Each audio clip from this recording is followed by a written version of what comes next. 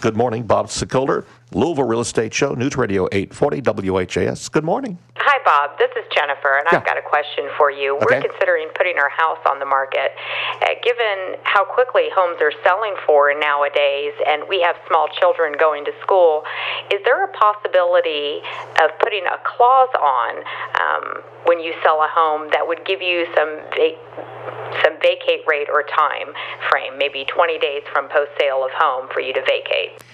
Okay, so that, that's a great question, and there are a lot of uh, clients here locally and around the, the, the country who would love to get more extended time. Greg, Oh, yeah. you and our, all of our agents, we got 20 agents write contracts. It's it's the old post possession. Um, It's a clause where you're asking for time in the house before or after closing. There's multiple ways to do it.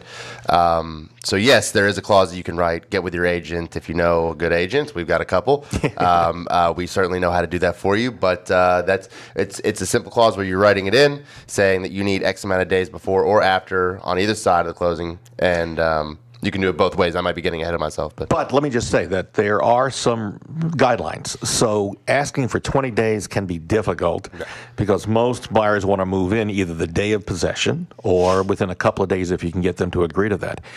So two or three days post possession, that's pretty standard. Uh, but anything further, they're going to probably either turn down or they're going to ask you to pay a per diem of what their monthly mortgage is divided by the number of days in And, the and, month. Lee, and as Lee can tell you, there can be some uh, sticky legal implications if things go awry, right? Sure. I think what you need is a good post occupancy agreement that would cover who's insuring the property, um, whose possessions are there, who's covering that. Uh, is there going to be any money escrowed for damages that might occur, um, you know, when you're moving out and that kind of thing? So, yeah, it's, pardon me. It gets you choked up. Looking at the uh, the form that's online to GLAR, is that legit, or should we go with an attorney like yourself to have one written up? I have one that you can have.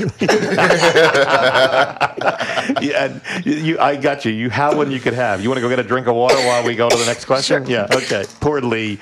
Poor Lee just Kids are all choked, choked up Listen Yeah, to that, right. these circumstances. Isn't that amazing? you. You And- definitely want to make sure you check with your lender as well. And do check with your lender. What are the restrictions from a lender's side, Brian? Uh, I, for some odd reason, I'm 90% confident 60 days. So you have 60 days to make sure That you get occupancy. occup- yeah, because you're actually signing an occupancy agreement in your closing package. Right. Ah. Oh, yeah. That's a very good point. All right. Good to stuff to know. All right.